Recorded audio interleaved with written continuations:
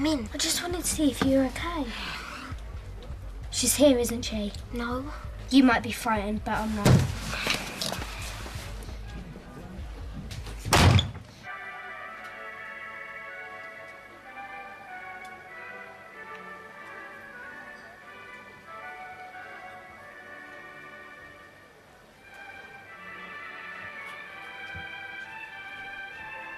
You're here alone with her.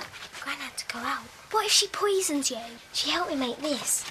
She's trying to brainwash you. You shouldn't have said anything about me getting lost. She probably did it on purpose. No, she didn't.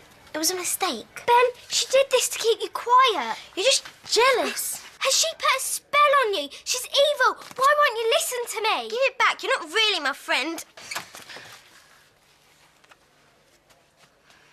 Niles, You like to scare me. I think it's time you went home, don't you? Ben, come with me. Ben is not going anywhere, are you, Ben? It's okay. We'll tell my mum everything. Oh, you're good at that, aren't you, Abi? Telling. Which, which, where do you fly? Under the clouds you and see what she's sky. doing? She's trying to turn you against me. You left him on his own. I know what you are. You're a horrible, wrinkly, old witch. And you are a scheming, vindictive, spiteful little madam. You come here.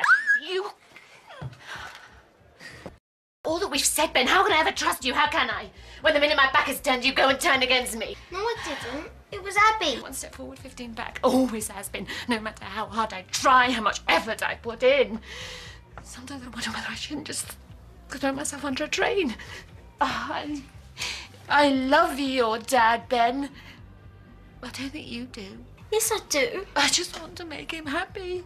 I keep trying to pull things together to make it work, but I, I can't do it all on my own. Brandy, Gran says that sometimes helps.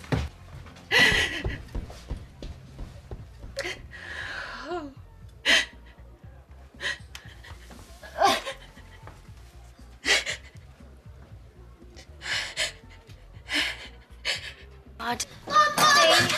What's going on? Why aren't you at school? What's happened? No, she just ran straight up here. Stella shouted at me. What do you mean she shouted at you? She's mean and cruel and horrible. Look, I'm sorry, Stace. Um, Preeti's going to have to finish you off. It's a bad time. Um, it's a bit of a family crisis. Sorry, if you'd like to see Preeti, come on down.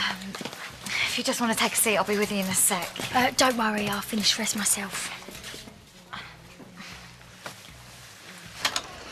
You better have a good excuse. I think there's been some sort of misunderstanding. She is 10 years old. I don't expect her to come running to me, crying and terrified because she's had an argument with a grown-up.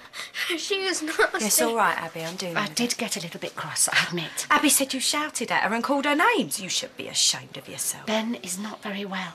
Abi really shouldn't have been here. Ben, darling, why don't you tell me what happened? Tell her, Ben. Tell my mum what she said. I, well, I wasn't going to say right, let him speak. Abi shouldn't have come in. I told her not to.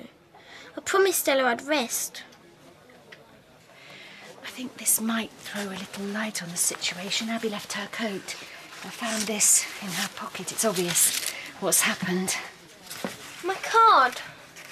Oh, what are you trying to say? What, that Abi did this? I didn't. The Kids must have had an argument. You know, things get out of hand, and that's where I came in. I didn't do it. Ben, Obviously, obviously I don't know the full story. it's just, you know, he's put a lot of time and effort into it. You know, it's a very difficult time for Ben, what with his mum being dead. Yeah, well, if Abi did do this, then I can assure you she will be punished. I didn't do it. Well, Ben didn't, and I certainly didn't. Well, like you said, you know, kids. Yeah. I'm sorry to have bothered you. But, Mum, Out.